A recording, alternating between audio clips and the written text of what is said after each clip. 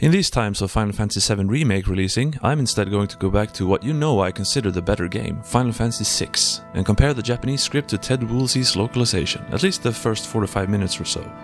Not that I'm really in a position to critique the work of a professional translator, but still. After the amazing purple lightning and fiery title, the intro begins. And the Japanese intro is the same as the back of the box. There's not any big discrepancies to speak of, but I want to mention that the War of the Magi in Japanese, Mataisen, sounds just like the name of a Dutch football player. And maybe I guess I would have changed dread here to dreaded in the English version. In the very first text box, the Japanese version clarifies something for me by saying that the Esper was frozen in the war a thousand years ago. Then Vicks, instead of wondering if it's still alive, wonders if their information is solid, to which Wedge replies that it is. About the frying of 50 soldiers by Terra, the Japanese version just adds a simple osoroshi at the end, meaning terrifying. Then they head into the town as usual in that beautiful intro, which I'll skip now for time. Sorry. When they get to Narshe or Narsh or Narshi or whatever in the Japanese version, one of the soldiers says to not worry about the small fry instead of the no sense in taking any risks bit. Anyway, in they go, killing some guards and Lobos in the process. Here I would like to address one bit of standing criticism to Ted's work, that the soldiers are named Vicks and Wedge instead of Biggs and Wedge. However, as you can see in the Japanese, he's not actually named Bigusu, but Bikusu. And B a lot of times is V in Japanese, so Ted did nothing wrong. The Japanese people forgot the handakuten on the ku. Either Ted didn't get the Star Wars reference, or he was just too loyal to change it. But Vicks is not actually a mistake. After that, there's not much to mention, but Welk is named Yumiru in Japanese, and I have no idea what that is supposed to mean. The battle dialogue is accurate. Welk says gugogogogogo instead of gru, but they're both nonsense anyway, so who cares. After his defeat, you get a potion in the English version and a high potion in Japanese. That's because for whatever reason, Ted renamed potion to tonic and high potion to potion. When they meet Tritoch, there's one text box which I think comes across a bit weird in the English one, when the Japanese one just says kind of, something's wrong, something's creepy. The rest of it is very close, except for the Japanese version adding a line of Vic saying, my, my body, just before dying, which I kinda liked. Then Terra wakes up at Arvis's house, although he's always just Rojin or Old Man in the Japanese version. I prefer him to have a name though, so thank you Ted. Otherwise it's very accurate up to after you name Terra, and I changed it from the Japanese default of Tina back to Terra by the way, because that's what I'm used to and therefore correct. Here in the Japanese, Arvis says that Terra has a strong mind rather than recovering quickly, although it's implicitly the same thing.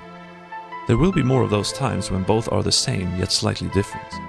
Then the guards knock on the door and demand the girl be handed over, though she's not an officer in Japanese but more like an underling of the Empire. When Arvis says that he doesn't have time to explain, in Japanese he says that they, meaning the guards, are not going to listen to his explanations. Terra escapes out the back and heads into the mines, where she finds a Phoenix down. Now instead of focusing on the rather well-known fact that Phoenix isn't spelled like that, I'd like to question the Japanese here instead. When you use the item in battle, you can clearly see that those are feathers, yet it's Phoenix no O, not Phoenix no Hane. O means tail, so why? Maybe they meant tail feathers? I don't know. While we're on bestiary stuff, just one quick aside here that Vaporite and Repo Man are called Spritzer and Highway in Japanese. Terra is then surrounded by the guards, falls through the floor as if she was Lara Croft or something, and falls unconscious. After a quick flashback, of course. Here we see Kefka putting on the slave crown. Here Ted puts a little more personality into the English than I think the Japanese did. And for me personally, I like this bit of we'd practically own you, because Final Fantasy VI was the first RPG I played. Then after I got stuck at Mount Kolts, I started playing Super Mario RPG instead, wherein the sword Exor says a very similar line, which lo and behold, Ted Woolsey also worked on. Ted Deception. Gestahl's little Nazi meeting is interesting too. Whereas the English version has the Empire on the brink of a breakthrough, in the Japanese version they've already resurrected magic. He says they're going to rule the world, and the soldiers enthusiastically shout Banzai. Wait, Banzai? I thought Banzai was like the most Japanese word ever. Are they trying to make Gestahl look like Hirohito or something? But he's the bad guy? Nah, probably not. Besides, Banzai comes from the kanjis 10,000 and year, meaning eternity, kind of. So long live Emperor Gestahl should be accurate. Good going, Ted. Cut back to Arvis' house where we met Locke. The difference here is that Arvis asks him if he's quit being a thief, basically. Ashi o arao is the Japanese equivalent of washing your hands of something. Locke then reacts the same way in both versions, and I name him Locke instead of Lock, because that's how my Swedish ass has referred to him for years. The conversation after goes like you'd expect, up until the line about the witch. Here Ted put in a little stronger wording which shows Locke's anger towards the Empire, which isn't really in the Japanese. Then we come to a series of boxes where the meaning is more different, the most so far. First, Arvis says that Narshe is no match for the Empire, when in the Japanese he says that they are. They hold a special strength to stand up to them, but due to their high degree of self-governance, aka independence, they're not gonna join the returners. Then Arvis seems to say that Terra won't listen to him. Terra hasn't shown any standoffishness yet, so that seems a bit random. In the end though, the result is the same. They need Terra to join in their fight against the Empire. After that, Locke agrees to help, goes to where Terra fell down, but is found by the guards. Kupo! Moogles to the rescue!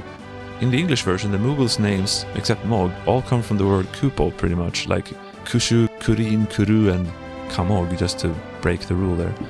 Where in the Japanese version, Mo is the common denominator. It makes Mog's name stand out more in the English version, but either one is fine by me.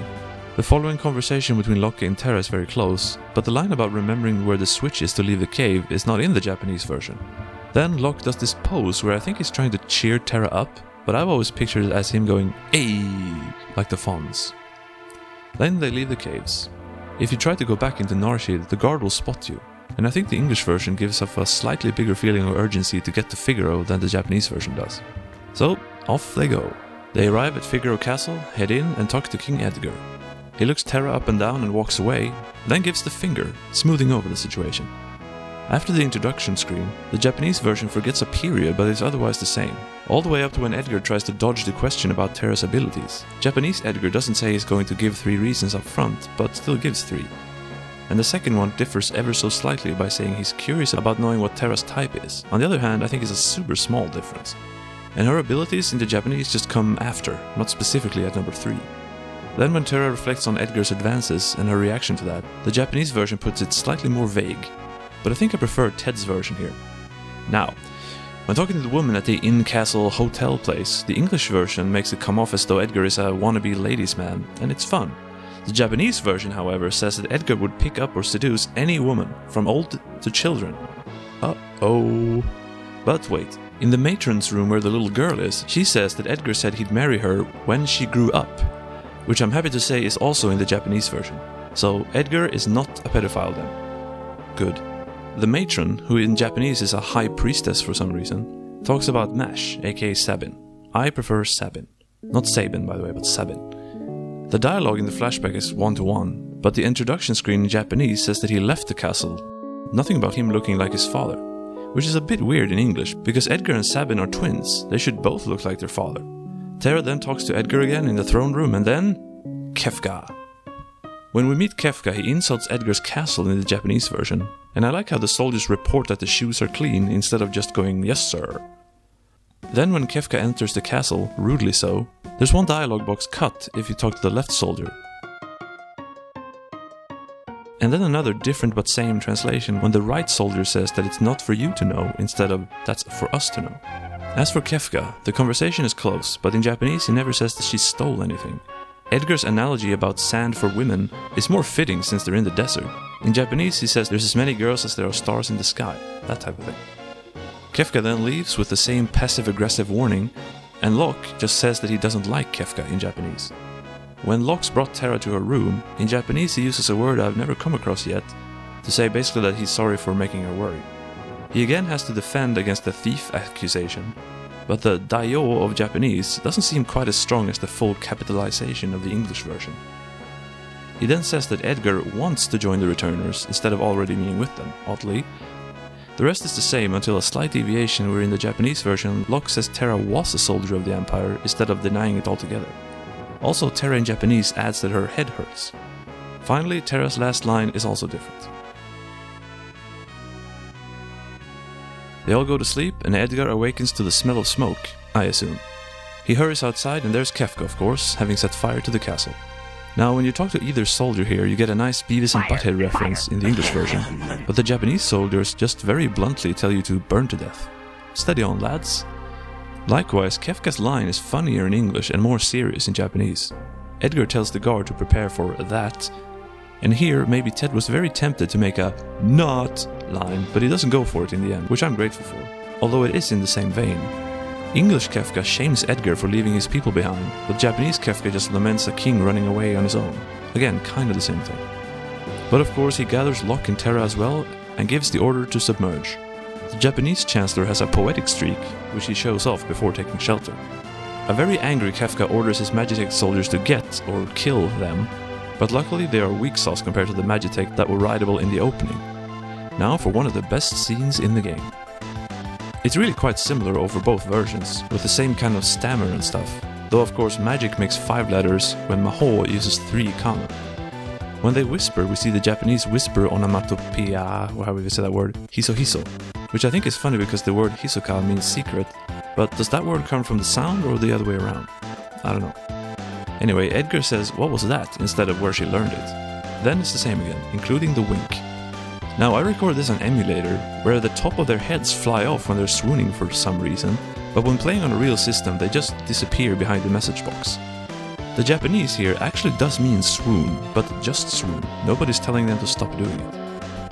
Bravo Figaro is literally the same, then comes Kefka's immortal line about submariners and the sons thereof. Metal Gear Solid 2 Sons of Submariners. In Japanese, he simply says shit, and then the other part. The following conversation on Chocobo back is mostly the same. Then Edgar's line about there not being any humans who can use magic in Japanese is a little more straightforward, but I can't decide if the English version has him saying it with more tact or less. Edgar's following line about the Empire chasing Terra is slightly expanded in Japanese. After that, it's the same but spread out over more text boxes in the English version. In both versions, Edgar thinks Terra agreed with her without saying anything really. But then in Japanese he says that there should be a cave leading to South Figaro, when in English he's certain. So they go to the cave, and Edgar gives the guard here more information in Japanese than in English, and doesn't tell the guard to tell the people that they're safe, I think rather to give the information where they're headed. And that's it for now. Into the cave they go.